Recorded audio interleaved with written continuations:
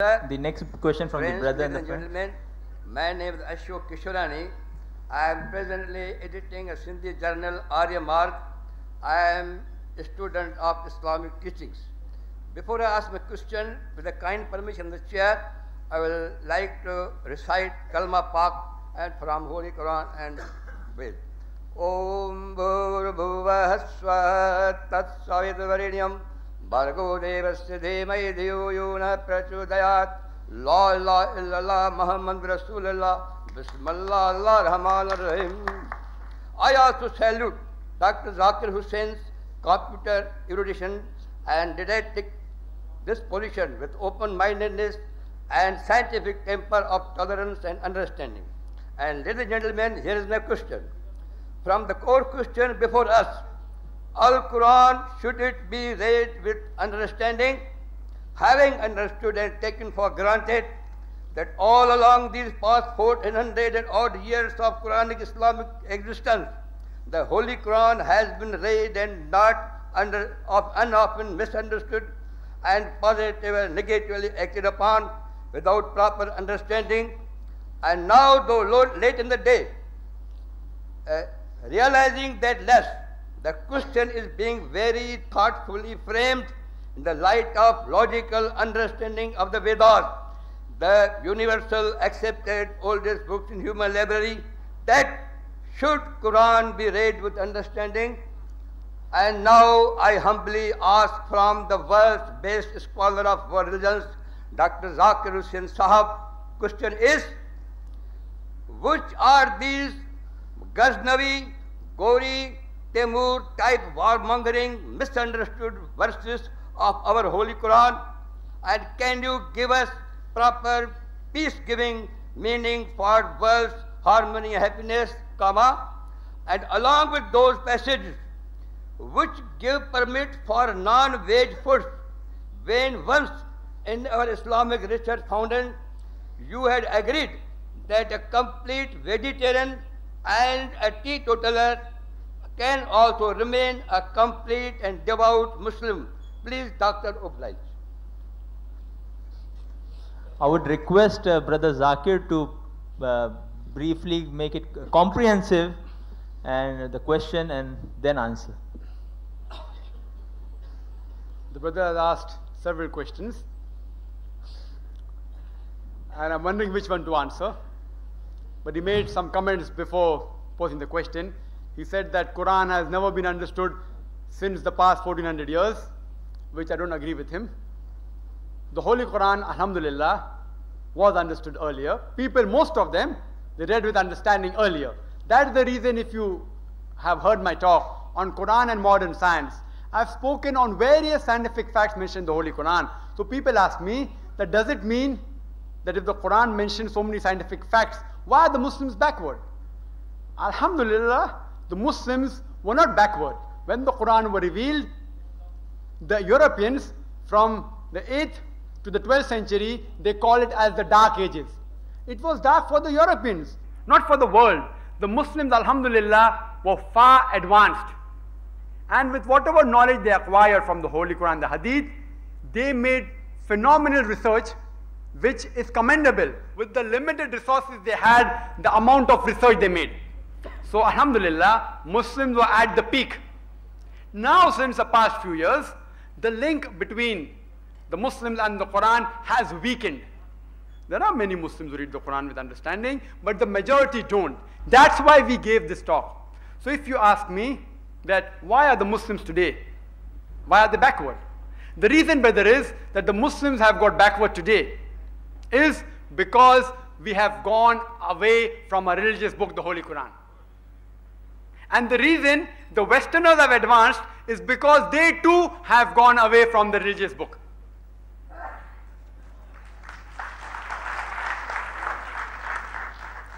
Coming to your question, if I can summarize, you posed two important questions. One is on harmony, and one you quoted regarding non-vegetarian. And you quoted certain verses of the Vedas. This is not a talk, it is mainly Al-Quran should be with understanding. Regarding the other topics, we have other lectures, and inshallah I can even comment on the Vedas. But today, since you mainly asked that what the Quran speak about harmony, though it doesn't fall under the topic, but the chairperson said I should answer, so it's my job. The chairperson makes a decision, yes or no. The Quran speaks about several things about harmony, and I've given a talk on Islam and universal brotherhood. Islam, the universal religion.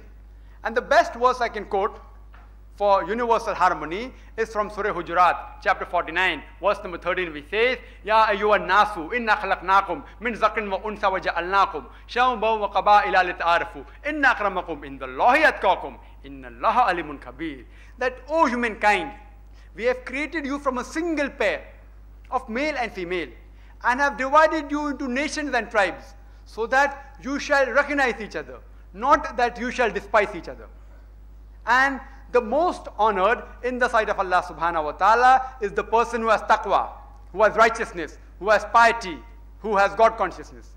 The criteria to judge a person who is superior than the other human being, it is not caste, it's not color, it's not creed, it's not sex, it's not wealth, it's not age, but it is taqwa. It's God consciousness. It's piety. So a person who's more God conscious, a person who's more God conscious, then he has higher level of taqwa. How to be God conscious? I've given a talk and inshallah we'll be having after a month's time a talk on how to be God conscious on the basis of the Quran, on the basis of the Veda, on the basis of the Bible, on the basis of the other religious scriptures. Inshallah. We practically show the difference between Islam and the other religions is Islam practically shows how a person should have universal brotherhood. Every day in our salah, five times, when we offer salah, we stand shoulder to shoulder. Our beloved Prophet said, it's mentioned in Sahih Bukhari, hadith number 692 of chapter number 75, volume number 1 in the book of Adhan. Our beloved Prophet said, when you stand for salah, stand shoulder to shoulder. And the hadith says, stand shoulder to shoulder so that the devil does not come in between you. Our Prophet was not talking about the devil which you see in the Onida TV ad with two horns and a tail. He was not talking about the devil which you see in the comic strip. He was talking about the devil of racism, of caste, of color, of wealth, irrespective of whether rich or poor. Irrespective whether a person is rich or poor. When he stands for salah, he stands shoulder to shoulder. Whether the king or the pauper, when he stands in the same row, he stands shoulder to shoulder. Irrespective whether he's a European or an Indian, whether he's an African, whether black or white, when he stands for salah, he stands shoulder to shoulder. The best universal example which we portray practically, other religions talk about it, theoretical. Practically every year in Hajj, 2.5 million people from throughout the world, they gather together from various parts of the world, from America, from Japan, from England, from India, from Pakistan, from Sri Lanka, from Malaysia, from Indonesia. They're dressed up in two pieces of unsewn cloth, the men, preferably white. You can't identify the person who's doing Hajj with you, whether he's king or a pauper. Universal brotherhood, international brotherhood. Regarding more details, you can refer to my video cassette. Regarding a talk and a question that a Muslim can be a good Muslim, as I mentioned when you had come once to a foundation, even by being a pure veg, and I agree with you. That a Muslim can be a very good Muslim by even being a pure vegetarian. But same way, a Muslim can be a very good Muslim by not being a doctor also. A Muslim can be a very good Muslim by not being an engineer also. A Muslim can be a very good Muslim by not being a lawyer also. That does not mean a person should not become a doctor. That does not mean a person should not become an engineer. That does not mean a person should not become a lawyer.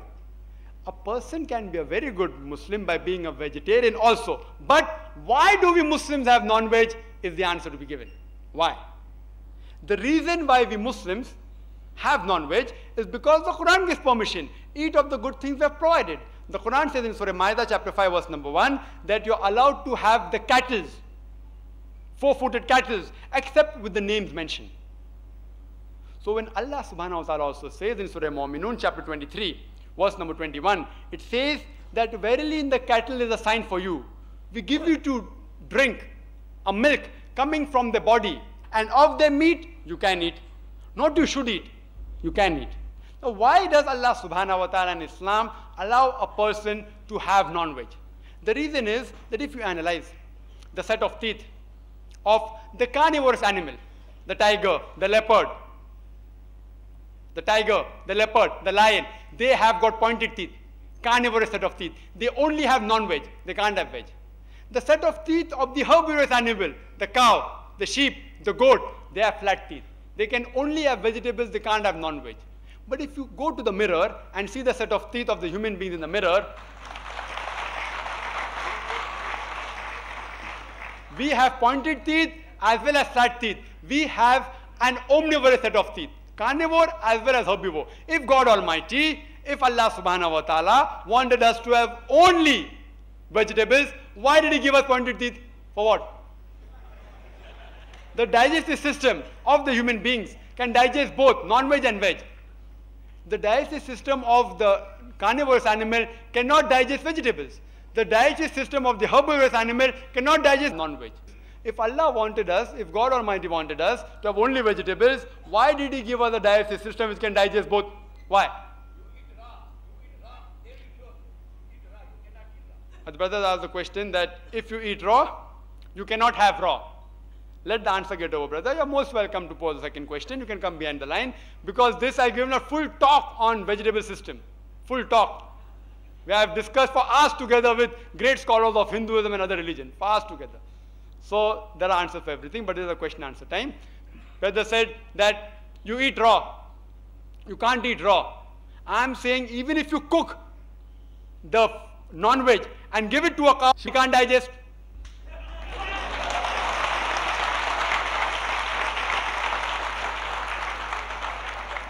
That's the reason you know the mad cow disease. You know mad cow disease? UK was in problems. Billions of pounds in loss. Why? They tried to give non-veg food to a herbivorous animal. So similarly, if you analyze the set of teeth and the digestive system God gave us is because for a purpose. Similarly, if you analyze, if you analyze the Hindu scriptures, the Hindu scriptures say that a person can have non-veg. If you read the Ayodhya Khandam, I'm giving the reference. The person is a Hindu. Ayodhya Khandam, chapter number 20, chapter number 26, chapter number 94 says that Ram, when he was sent for Banvas, when Ram was sent for Banvas, he said, I will have to sacrifice my tasty meat dishes. If Ram said he'll have to sacrifice tasty meat dishes, that means he had. So when Ram can have, why can't you have? There are various. Further, if you analyze that in the story of Raman, in the story of Raman, Sita asked Ram to kill the buck. For what? Some people say for pet. What will Sita do with a dead pet? She asked Ram to kill the buck to eat the meat. The reason why the Hindus have gone to the philosophy of vegetarian, there is a reason. Because other ways of life had influence, like Jainism, etc. They had influence on the Hindus. So to prevent them from going to other ways of life, even many Hindus started adopting a system of vegetarianism.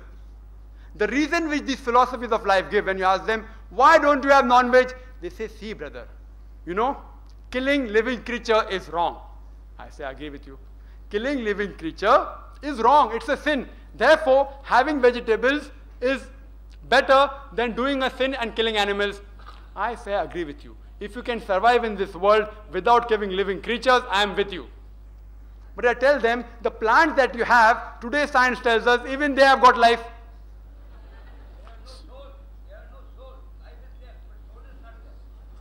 Again, brother is interjecting. I think the person, I think, brother, I've told you clearly in English that please don't interject. I can give the answer. Not that I can't give the answer. Even the animals have got no soul. See, brother, this is my field. I am in the field of comparative studies. I've had discussions with great scholars, great pundits, great priests. Whatever question they pose, I have an answer, alhamdulillah. But the thing is that this is a question answer time. You have interjected a couple of times. I've given the answer because you're elderly person. We love you, brother. We love you. We want you to come for our programs always. But, but if you allow me to complete the whole answer, and if there's any discussion, you're most welcome to ask the next question at the end of the row. So even animals have got no souls according to Islam.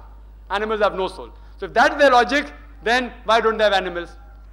There was a person who argued with me and saying, okay, we believe that the plants have got life, but plants can't feel pain. Therefore, killing a plant is lesser crime as compared to killing animals. Today science is advanced and we have come to know that even plants can feel pain. They can even cry. They can even feel happy. So your logic has failed. So one person, like our elderly brother out here, he was arguing and told me that okay, I agree that plants have got life, plants can feel pain, but the plants have got lesser senses as compared to animals. Therefore, killing a plant is a lesser crime as compared to killing an animal. So I said, okay, for sake of argument, I agree with you. Plants have lesser senses.